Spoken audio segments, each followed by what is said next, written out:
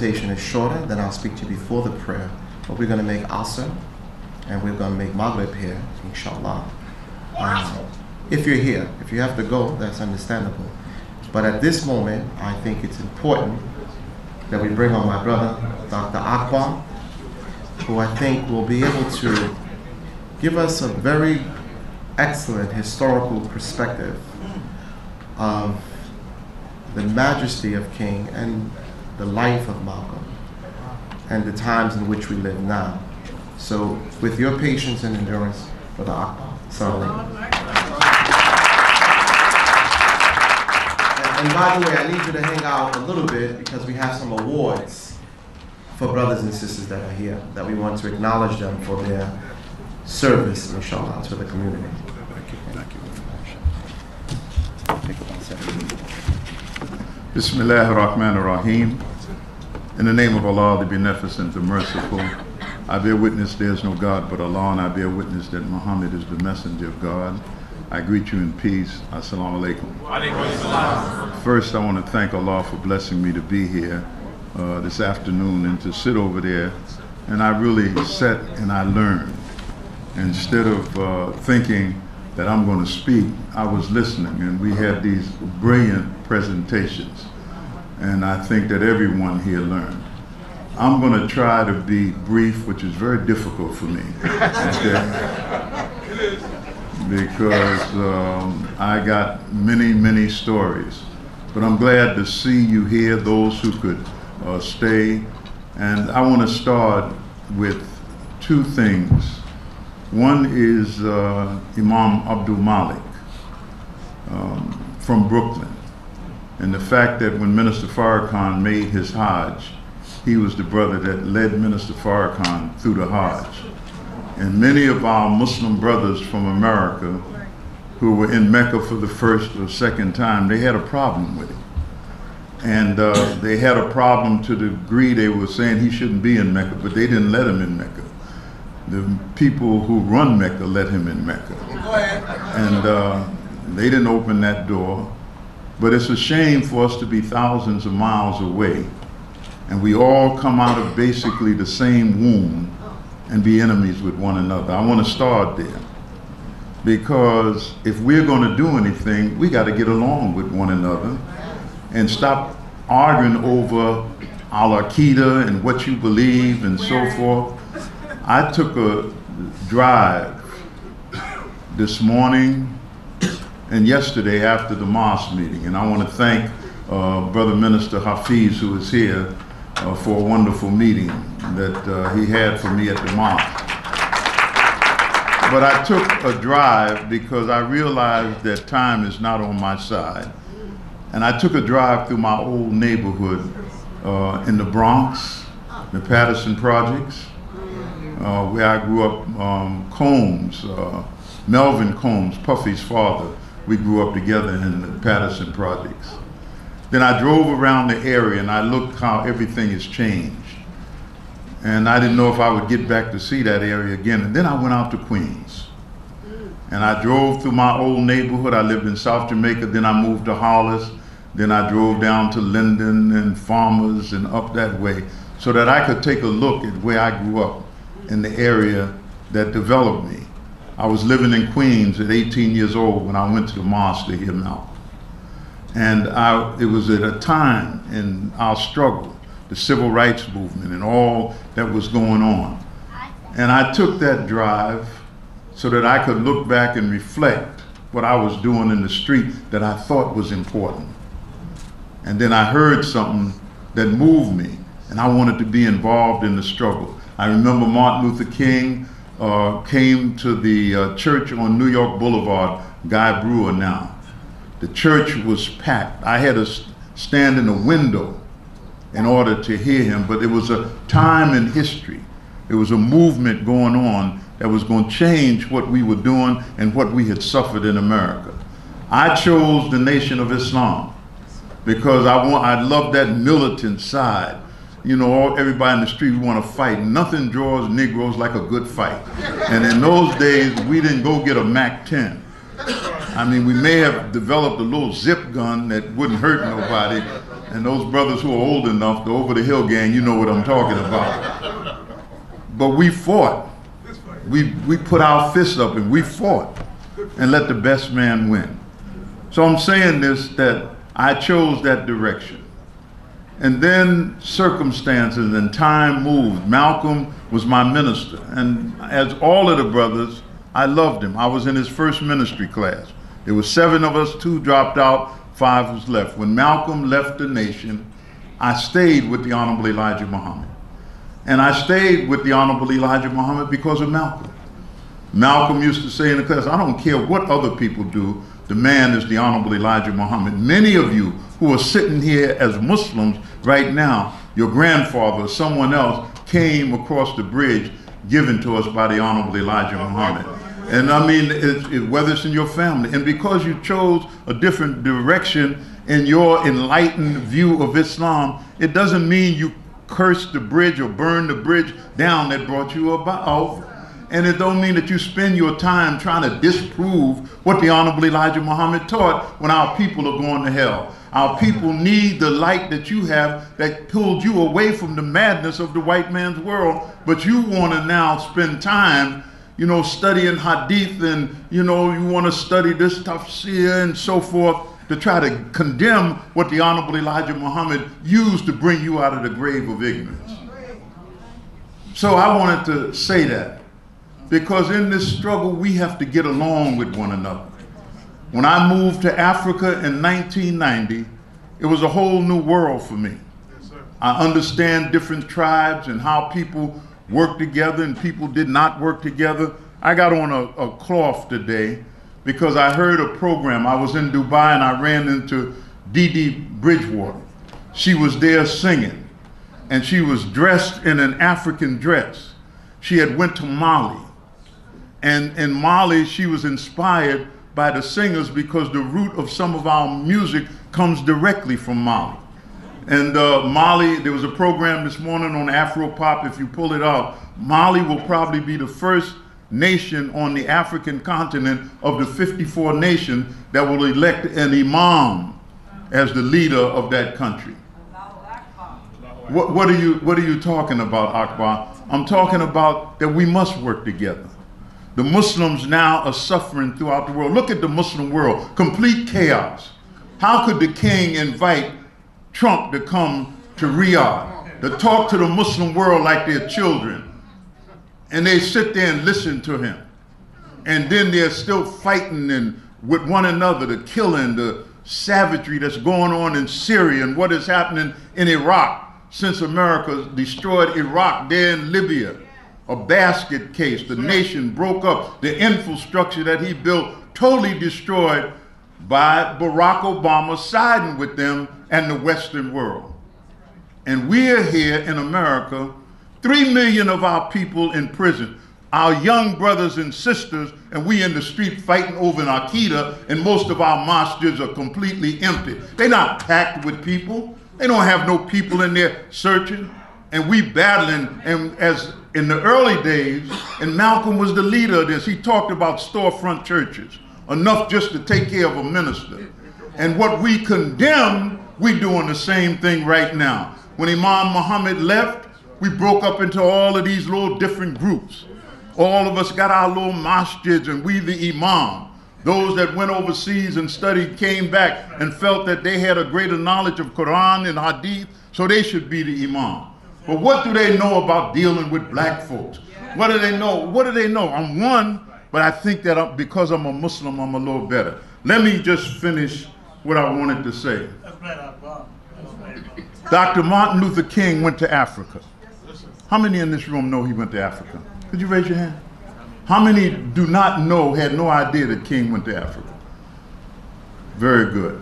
I mean, you can be honest because I didn't know for a while.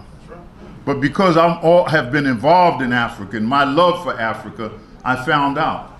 How many of your children have come home and say, I want to read a speech on, or your grandchildren now, on King, and they give him, I Have a Dream?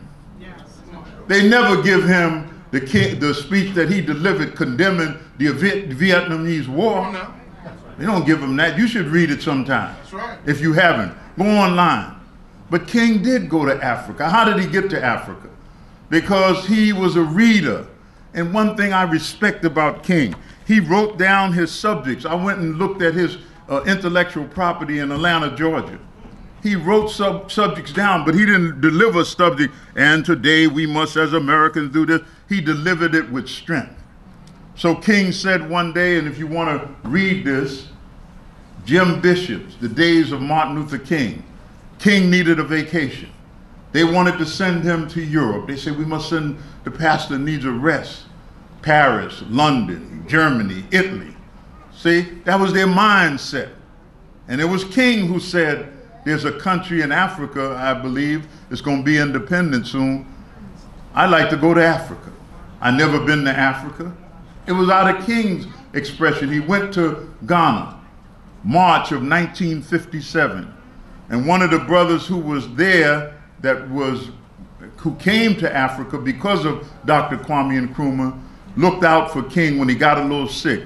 And then when King got back, it was a tremendous celebration because all of those involved in the liberation struggle for African nations, they came to Accra, Ghana for that Independence Day. And King had an opportunity to interact with those brothers who were struggling. Then King, King came back to America. And if you're going to celebrate King, celebrate a part of this that most of our people know nothing about. And on April the 7th, 1957, he went to the Dexter Street Baptist Church and delivered a speech. A new nation is born. He talked about what he saw in them trying to build their society. And it's an important part of King's history. A black man named Louis Lomax wrote a book called To Kill a Black Man. It's about Martin Luther King. It's a collector's item now. Holloway Press in California. I sold hundreds of them in my bookstore. I used to own a bookstore with Dr. Salam from Newark called Books and Things on the corner of 116th and Malcolm X Boulevard. And we sold hundreds of those books, a little book. But the book was a key because uh, Louis Lomax, a brilliant brother who helped Malcolm with our first papers, he wrote uh, White Man Listen, Negro Revolution, and When the Word is Given.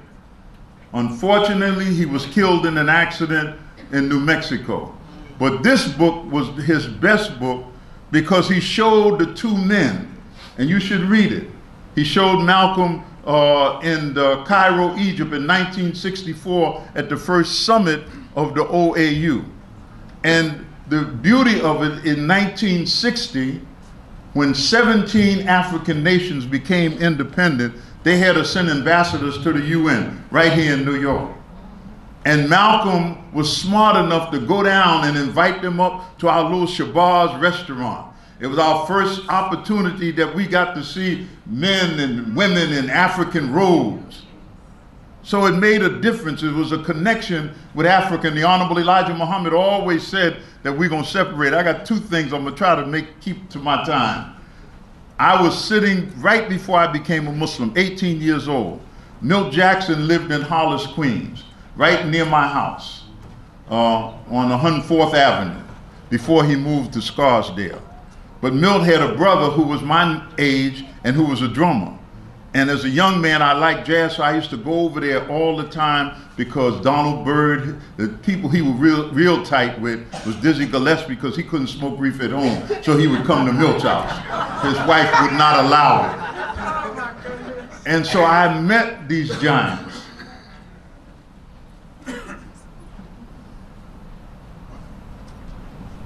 Thank you.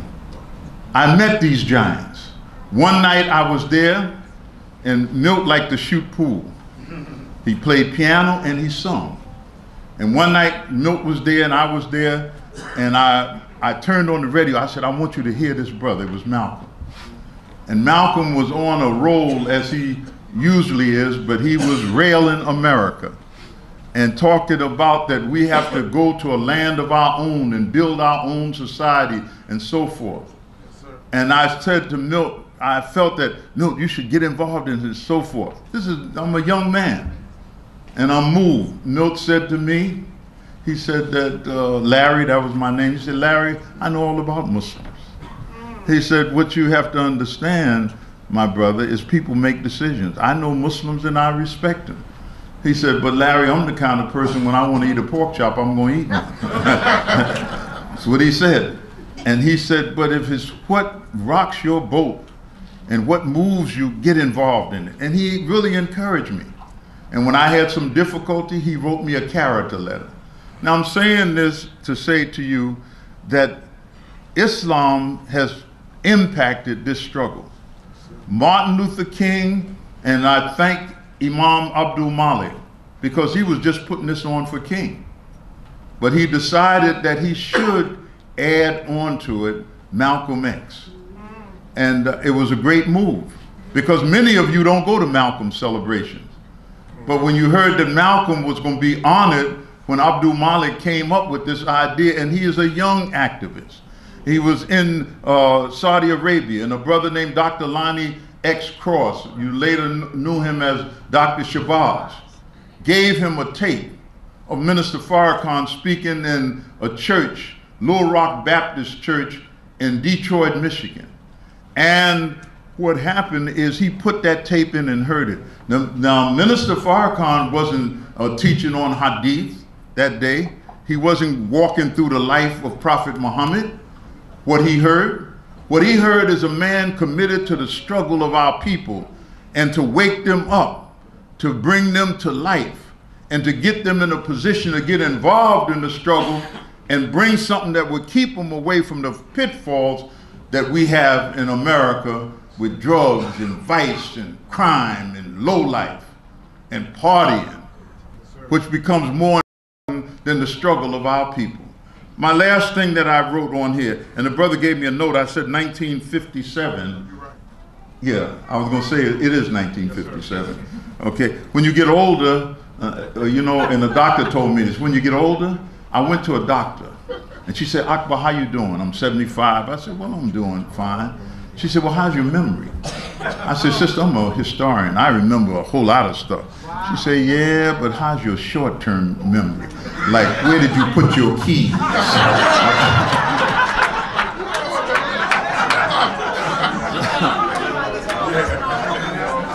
so, so brother Hafiz, I said that that the 57 and 60s, I can remember all of that, but don't ask me something about yesterday. I may, I may have a problem. Let me finish this last point. I'm saying this because we got so many lawyers in the room.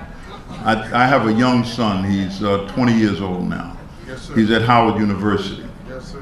When he was going to Howard, I wanted him to go into law. And he said, Dad, I don't like lawyers. They some of them lie and you know they do that. He said, I don't want to be a lawyer. I said, son, I said Barack Obama has a law degree, but he doesn't practice law. A lot of your politicians and other people. I said, but law is important. Why? And I learned this from attorney Lou Meyer, a movement lawyer. He said that by going to law school, he was forced to read. And the, he developed a habit of reading. Reading made him analytical that you have to be able to analyze things. You have to know what rational thinking is. And it's very important. This room is full of a lot of lawyers today. And I hope that the lawyers will do what we fail to do. And that's to get young people and mentor them and talk to them. King would have liked to have done it. King would have liked to sit down with young people and talk to them, but he was engaged in the struggle and always on the move. And then the thing about Martin Luther King and his period, and if you get the book that I'm talking about, please get it and read it, To Kill a Black Man. Because Malcolm, in the early days in the nation, we railed on King. I mean, and anybody, you remember those right, days, right. called him a pork chop eating preacher, you know, and so forth. I mean, we were bad. But things change with time. The respect that Minister Farrakhan developed in the last five years for Dr. Martin Luther King. It's unbelievable. And he got that because he studied his life. He studied uh, Taylor Branch's three books. And Taylor Branch said how James Bevel knew that they had to keep the struggle in the press. They didn't know how to do it because the press was marginalizing what King was doing. And he said, let's put the children in the street. And they got all of the children to demonstrate but they never thought in their wildest imagination that they would sick dogs on those children, beat them with ho- uh, hoses and bats, and then lock them up in jail cells. It got the attention, but the children suffered. But the respect for what they were trying to accomplish in our struggle took a turn. W.E.B. Du Bois, whose body is in Ghana, and I do the tour of his house that is in miserable shape because they don't care about it. And when I go and do that, remember Du Bois was against Garvey. I'm closing out now, Brother Imam. Du Bois was against Garvey. And Garvey was calling them to Africa, but that wasn't him. He was worried about something else in terms of our struggle. But where did he die at? And where did he end up going after America took his passport? When he got his passport back, he poked his tongue at America, went straight to China, where they respected him and loved him. And then Dr. Kwame Nkrumah said, Would you come to Ghana and help me to confer doctorate degrees on my people and finish your uh, Encyclopedia of Africa? And he accepted that and he died there. But I want to thank you. It's a great meeting. Brother Imam Malik, you must continue to work. Use the, your language skills. He went to school um, in Saudi Arabia. He's married to a beautiful sister from Egypt that helps him to keep his Arabic up, and she's a lawyer. And so use the skill not to just deliver your khutbah, but to engage these ambassadors in the Muslim world that has millions and billions of dollars so that we can do some constructive things for our people in this movement to resurrect black men and women in this country. Thank you. May Allah bless you. Assalamu alaikum.